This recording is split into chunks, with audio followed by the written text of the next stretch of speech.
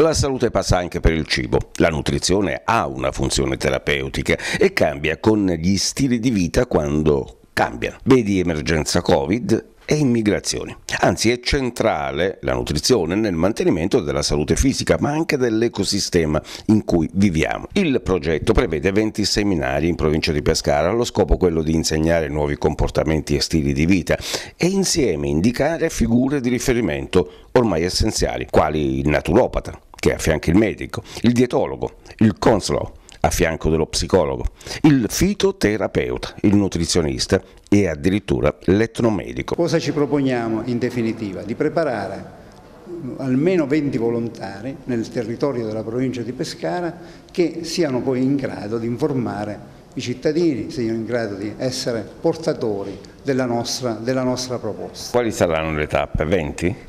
Le tappe sono 20 e andremo su tutta la provincia di Pescara, quindi um, portando proprio a conoscenza l'importanza della nutrizione da un punto di vista di terapia, quindi alimento come farmaco e soprattutto la conoscenza della natura, eh, utilizzando la natura come farmacoterapia a fianco alle terapie tradizionali. Quello che vogliamo mettere in evidenza è il rapporto che c'è tra le, le piante e la, la vita dell'uomo, la vita nel senso della, della salute, del benessere dell'uomo in particolare per quelli che sono gli interessi diciamo, di, di, ricerca e, e, di studio che seguiamo, il ruolo delle piante sia che entrano nell'alimentazione e quindi servono per il sostentamento, ma anche per le piante medicinali che servono per ristabilire e conservare lo stato di salute. Riscontriamo diverse problematiche che vanno dai minori agli anziani ai disabili la Fondazione di Ricerca Oncologica potrebbe appunto